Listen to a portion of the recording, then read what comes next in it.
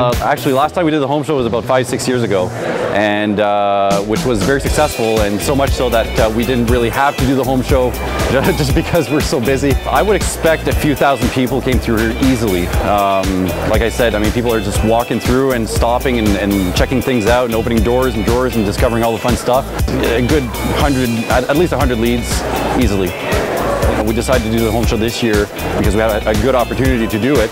Uh, it's been so successful, I think we're going to keep doing it every year now.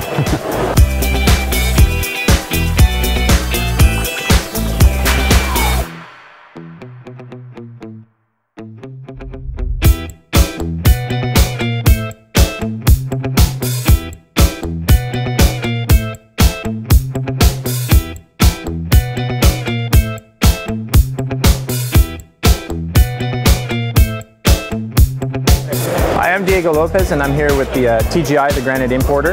Uh, we manufacture custom countertops for kitchens, bathrooms using granite and quartz and marble. We keep coming here because every year it just gets better and better.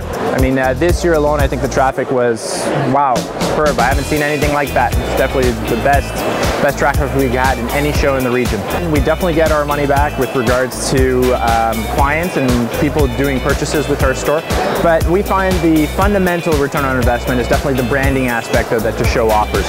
Um, you know, we easily in a day we see thousands of people walking by asking us questions. So a show you come in and generally we love to say that it kickstarts the season, especially the home and garden show. It just gives it a great kickstart. People come in, they're anxious, and it just gets us going for the summer.